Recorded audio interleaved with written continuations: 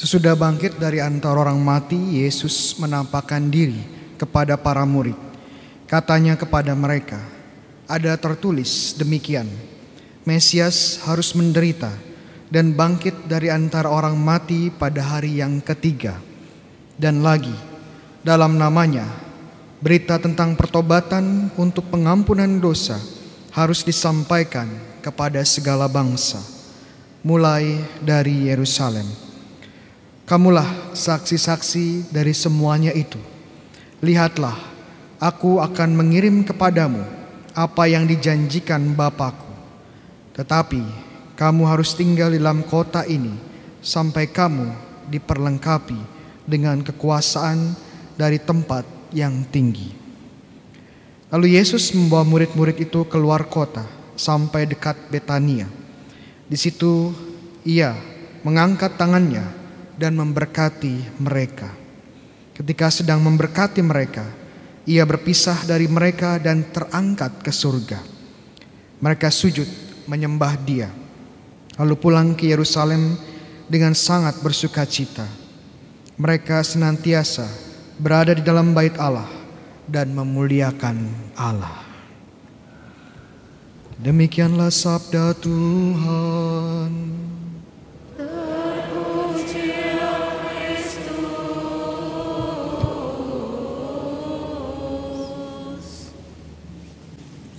Saudara-saudari yang terkasih, pada kesempatan ini kita bersama-sama merayakan hari raya kenaikan Tuhan Yesus ke surga. Dan salah satu hal yang menarik yang kita dengarkan pada Injil hari ini dari Injil Lukas adalah saat Yesus itu naik ke surga, dia merentangkan tangannya di atas para murid dan kemudian dia memberkati para murid. Pertanyaan sederhana, Kenapa Tuhan Yesus di dalam momen-momen terakhirnya di dunia, dia memilih untuk merentangkan tangannya dan memberkati murid-muridnya. Ya jawabannya kalau mau jawaban gampang sih ya suka-suka Tuhan Yesus ya. Mau ngapain. Kalau diangkat ya Tuhan Yesus ya terserah dia. Tangannya mau direntangkan, tangannya mau diangkat ya. Tangannya mau ditaruh di bawah ya terserah ya saat naik ke surga tangan Yesus mau seperti ini juga nggak apa-apa ya. Yaitu terserah dari Yesus. Tapi teman-teman juga percaya bahwa jawaban seperti ini konyol ya. Dan bukannya mendapatkan pencerahan yang ada teman-teman menjadi emosi sama saya ya. Jadi mari kita dengar sedikit ya dalami sedikit kenapa Tuhan Yesus memilih memberkati murid-muridnya.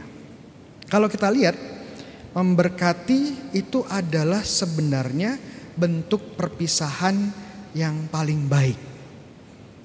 Saat kita berpisah, apa yang paling baik dilakukan? Ya memberikan berkat. Dan ini bentuk sesuatu bentuk yang sebenarnya suatu hal yang sebenarnya bukan hal yang aneh.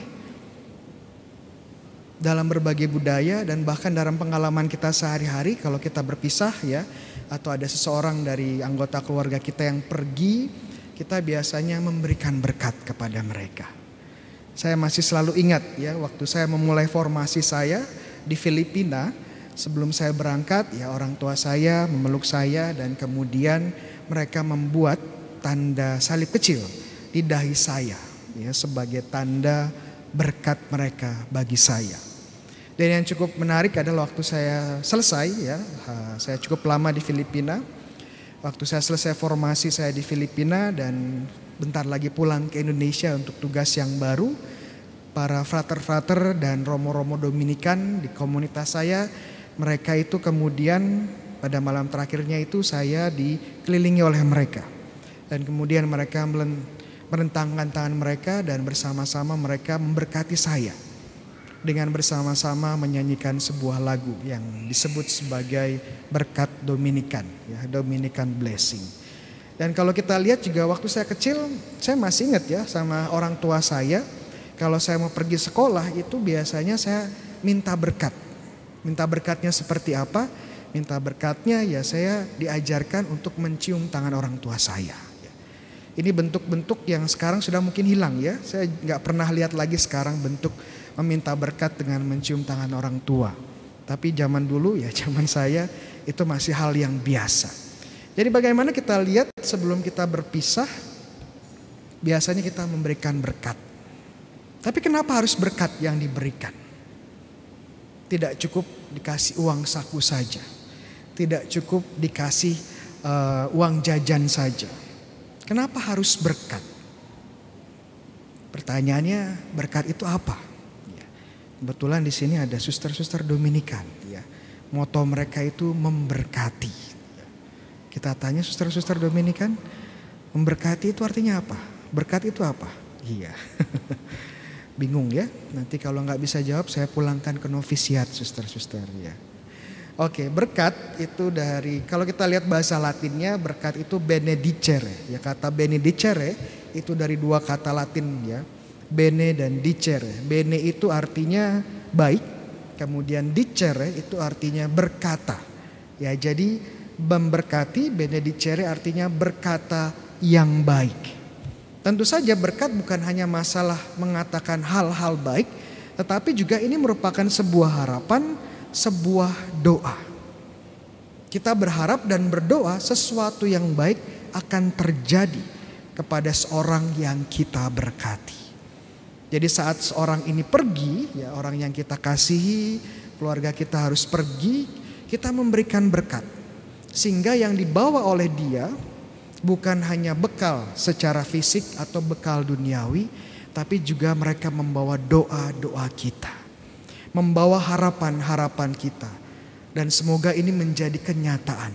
Hal baik yang menjadi kenyataan di masa depan mereka. Jadi saat indah ya, kenapa kalau kita berpisah itu kita memberikan berkat. Karena kita memberikan bekal, memberikan doa, memberikan harapan yang baik. Mungkin saya sedikit lebih uh, lebih dalam lagi di kitab suci ya. Kalau kita kembali ke kitab suci, kapan pertama kali Tuhan memberkati kita? Ada yang tahu? Pisang dua? Iya. pertama kali Tuhan memberkati kita saat kisah penciptaan. Jadi bagaimana berkat ini sudah ada ya di bab pertama kitab suci. Kalau kita kembali di kisah penciptaan ada tiga hal yang dilakukan Tuhan Pertama, menciptakan tentu saja. Kedua, melihat yang baik dari ciptaannya. Dan yang ketiga adalah memberkati. Ya, jadi kalau Tuhan sudah menciptakan sesuatu, Tuhan akan lihat, wah ini baik. Ini baik, ini sangat baik. Dan setelah mengatakan itu, Tuhan Tuhan Allah kemudian memberkati. Ya, final touchnya, sentuhan terakhir dari kisah penciptaan adalah Tuhan memberkati. Dan ini suatu hal yang luar biasa. Kenapa? Karena saat kita memberkati sebenarnya kita berpartisipasi dalam berkat Tuhan sendiri. Di dalam aktivitas, di dalam kegiatan, tindakan ilahi. Ini suatu hal yang unik bagi kita. Bisa berpartisipasi dalam karya Allah sendiri saat kita memberkati. Yang cukup menarik tentunya kita lihat bahwa ada polanya ya. Tuhan memberikan pola sebelum bisa memberkati. Pertama ya kita harus bisa melihat sesuatu yang baik. Kemudian mengucapkan yang baik itu. Jadi sebenarnya sudah ada yang baik tapi diberkati sehingga yang baik ini menjadi sempurna. Jadi kata-kata berkat itu bukan kata-kata manis bukan hanya sekedar uh, omong kosong, tetapi sungguh doa yang membawa pada kesempurnaan. Ini kenapa Tuhan Yesus saat dia naik, dia memberkati. Karena dia belajar dari Bapaknya. Allah Bapa setelah dia rampung dengan kegiatan penciptaan, dia memberkati ciptaan. Tuhan Yesus setelah karya di dunia selesai, dia memberkati para rasulnya. Kita ingat kata-kata Tuhan Allah kepada Adam dan Hawa ya.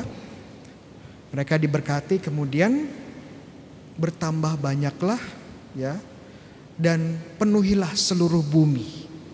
Taklukkanlah hewan-hewan dan bumi. Dan dengan berkat Tuhan Adam dan Hawa ya menjadikan keluarga manusia, ya menciptakan keluarga manusia. Begitu juga dengan berkat Tuhan Yesus kepada para rasul. Makanya Tuhan Tuhan Allah eh, Tuhan Yesus bilang sama para rasul ya saat momen-momen terakhir ini dari Injil Matius, pergilah wartakanlah Injil ya dan jadikanlah semua manusia, semua makhluk murid-muridku.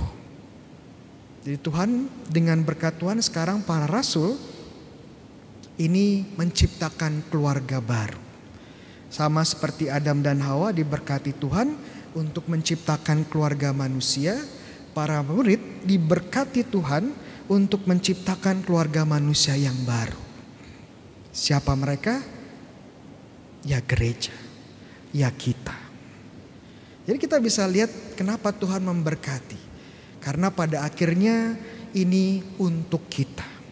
Bagaimana berkat Tuhan diturunkan kepada para rasul dan para rasul menurunkan berkat ini ke dalam gereja dan gereja memberikannya kepada kita.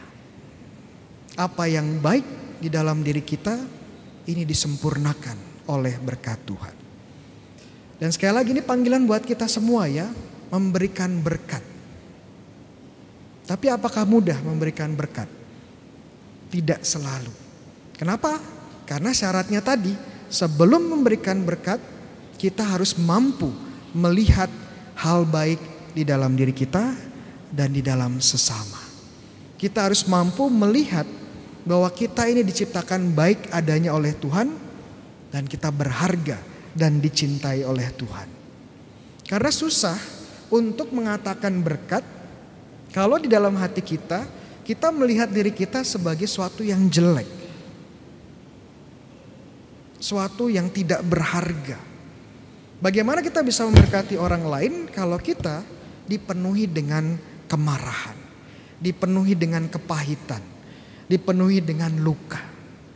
Sangat sulit. Sangat-sangat sulit. Jadi kita diajak pertama dan utama belajar mengenali bahwa kita adalah berharga di mata Tuhan. Kita adalah baik. Tuhan sudah memberkati kita dan sekarang tugas kita untuk membagikan berkat itu. Menjadi berkat juga bagi orang lain. Memang tidak mudah, tapi itu pesan terakhir Tuhan Yesus, misi terakhir Tuhan Yesus kepada kita. Ini kenapa perayaan Ekaristi itu ditutup dengan berkat dan pengutusan. Karena teman-teman sekalian di dalam Ekaristi ini mendapat berkat Tuhan, tapi tidak hanya berhenti di sini, teman-teman juga sudah menjadi berkat dan membagikan berkat itu di dalam keluarga, di dalam komunitas, dan di dalam masyarakat. Amin.